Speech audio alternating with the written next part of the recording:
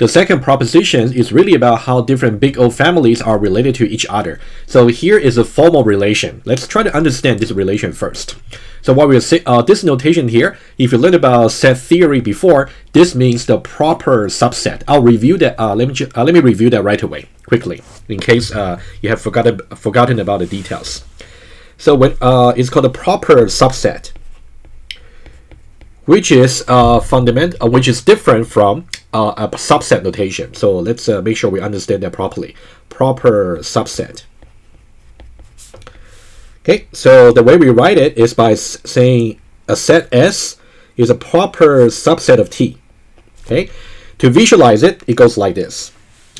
S is over here, the one set. Let's say it's not empty, and then T should be strictly larger in its cardinality in terms of the set. So this will be T, right? So this really means, number one, every item or every member, let's say every member, just to be more uh, set oriented uh, saying, every member of S is also a member of T. Okay, number one. And number two, there is, oh, there is at least one member of T that is not a member of S. Okay, let's see very quickly, right? You can see every member in S at the same time, every member of S is at the same time also a member of T, right? Number one. And number two, at least one member of T that's not a member of S. For example, you can see this is a member over here, right? So you can think about number two over here. This is just one example over here. And if you want to see number one, you can actually uh, look at this particular example. Okay, and of course the consequence is if you want to know about the cardinality, the size of the set, right? Uh, so maybe this is how you actually how you learn about the cardinality of set, right? So the size of the S should be strictly smaller than the size of T, right? That's a consequence. Okay, so that's proper subset. If you actually talk about let's just uh, let's say just subset, in that case you're allowed the possibility where S is exactly equal to T, in which case 2 doesn't really hold, right? That's about the normal subset. But here we talk about proper subset to make sure number 2 also has to hold, which is very important for our characterization between big O families. Okay, let's now go back over here. So here we are saying that big O of n0 is a proper subset of big O of n1 and also is a proper subset of big O of n2, right? Let's now try to visualize this right away, okay? Since we talk about proper subset. So think about, we start with this. So this is a set of function for big O of n0. Okay, it's a const uh, the constant function. And then it's a proper subset of big O of n1, the linear time function. O of n1. Okay, and also let me just do another one. This one here is let's say big O of n2. You can see as we try to grow the exponents over here for the function, right? 0 to 1 and then to 2. The lower power uh, big O family is actually a proper subset of the higher power big O family, right? That's what you can see, right? And usually we say the biggest one for our, uh, as far as we are concerned for this course, typically it will just be exponential function, the biggest one. So that will be big O of 2 to the power of n, the exponential function, right? That's the visualization idea you want to have in your mind, okay? And apparently, we're going to do uh, the contrast very soon. For example, between this family over here and this family over here. Think about what's happening over here. I'm going to repeat the point again in the slides. Okay, so this blue one over here, okay, so think about what it really means. Let's put it here. It's about all the function which can be upper bounded by the function over here, right? And zero by choosing the uh, by choosing the appropriate uh, multiplicative constant, also the starting point point and zero. Okay, and similarly, let me also put n1 over here. So this will be all the functions which can be okay upper bounded and by by saying upper bound, bounded hopefully know the inequality uh, equation that I'm talking about okay upper bounded by n to the power of 1 right that's the n of to the power of 1 okay so now if you think about this if a function can be upper bounded by n 0 does that really mean it can also be upper bounded by n1 Indeed, it is. Uh, indeed, it can. Right. Uh, what? Think about what I'm. Uh, what what I, what I, Let me repeat again, and then we'll see example a little bit later. Let me say it again. Two things. If a function can be upper bounded by n to the power of zero, which means it's in this family over here, can it also be upper bounded by n to the power of one, a strictly higher power? Diagrammatically, yes, because this is also a member of this. But if you think about it, mathematically by using the uh, using the upper bound in equation, uh, you can also see why. On the other hand, if a function can be upper bounded by n to the power of 1, can it also be upper bounded by n to the power of 0? Can it? Okay, let me write this uh, write this down. That's the, the main thing I want you to actually see. So, if a function is upper bounded by let's say upper bounded by uh, let's say n to the power of let's say x okay? So for example let's say it is upper bounded by n to the power of 1 can that function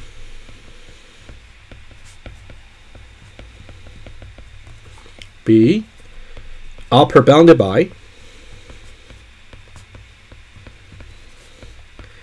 n to the power of y, where y is actually a strictly lower power, where I, y is actually less than x, right? For example, n to the power of 0, right? If it is upper bounded by here, can it be also upper bounded by n0? It may not be, right? For example, if uh, this can be upper bounded by n to the power of 1, and the same time is also upper bounded by n to the power of 0. On the other hand, this one here will be a counterexample. This function here is upper bounded by n to the power of 1, but it is not upper bounded by n to the power of 0. Okay, let me just do one more uh, writing and then we, we can go back to the slides. Okay. So there was this was a question, so not in general, not necessarily.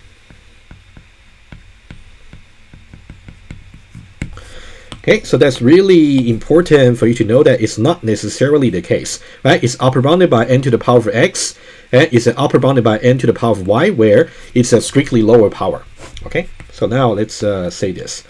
Okay, let me just do one more thing. For example, let's say here, let's say f of x, let's say uh, f of n. f of n is equal to let's say n to the power let's say uh, let's say 3n plus 1 is upper bounded by n. So what what kind of uh, uh, um, uh, what kind of multiplicative constant can you choose? So you can just apply proposition one at absolute value for 3 and also absolute value for 1. In that case, we can just choose a 4, right? 4n, okay? It's upper bounded by n, but it cannot be upper bounded by n to the power of 0, a strictly lower power.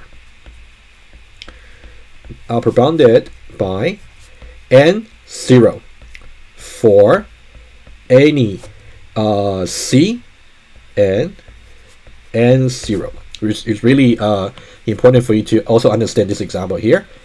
This one here cannot be upper bounded by N0 for any C and N0 because the 0 over here is strictly less than the highest power over here, which is 1.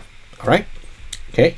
And let me just draw one more diagram over here. If you look at that, okay, over here, you can see f of n is actually a linear function, 3n plus 1, right? Something like that. So this is f of n.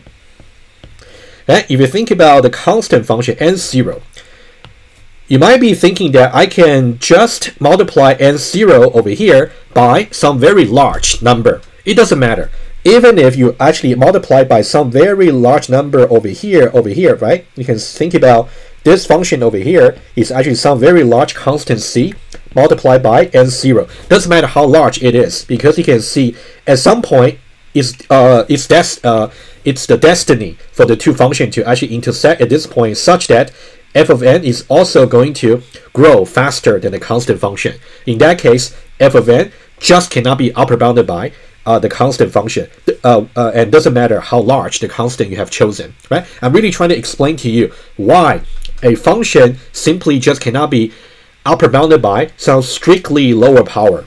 In, and you can definitely see this by just uh, this particular example. And similarly, if you if I got n to the power of 2, can it be upper bounded by n to the power of 1? The answer is no. And it doesn't matter how large the constant you may have chosen for this, because eventually the speed of growing for n to uh, for the n to the power of 2, which is strictly higher power, to catch up the speed and not be upper bounded, right?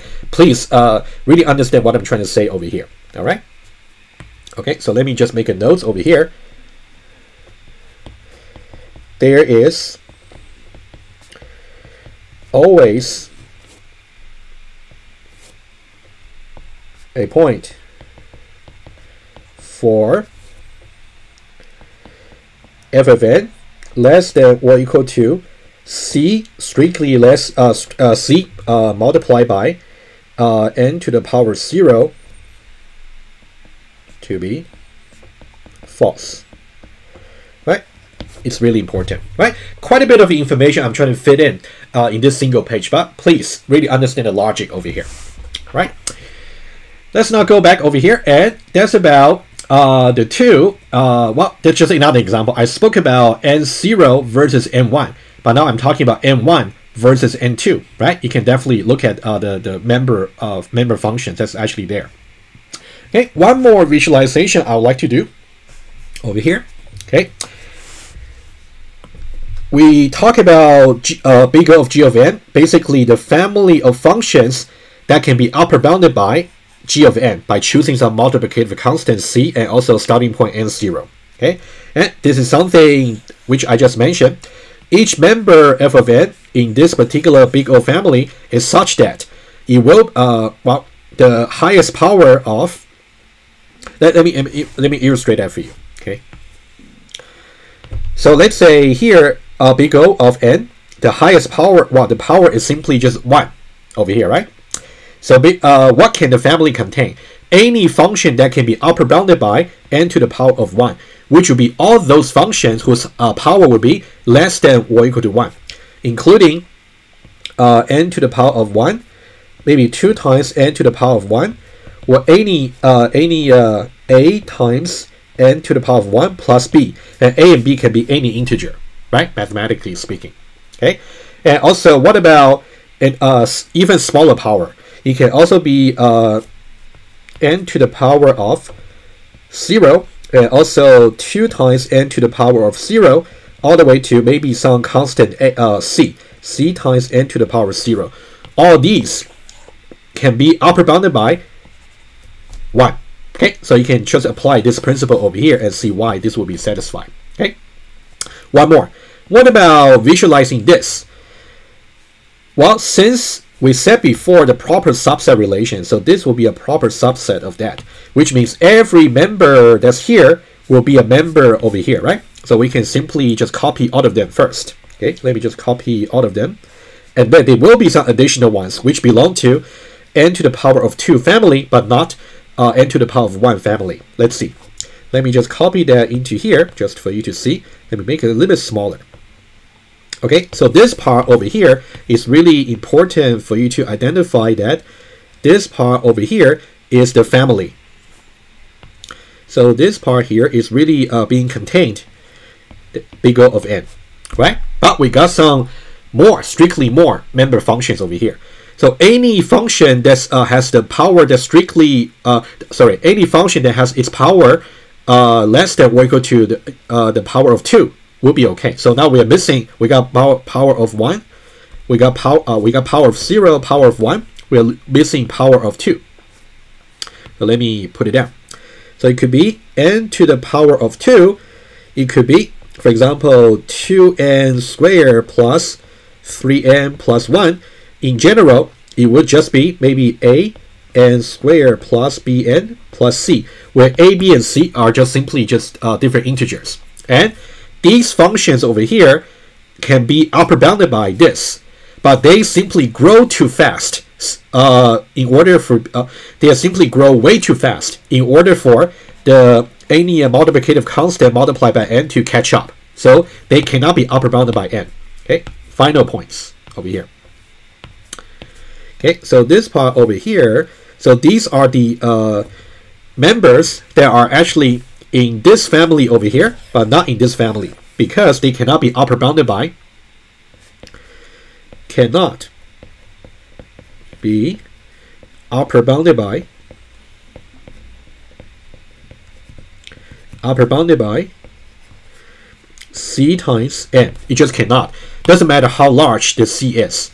Doesn't matter how large the multiplicative constant you have chosen, eventually n to the power of 2 will just catch up, right? In a similar way, like what I show in this particular diagram over here. All right?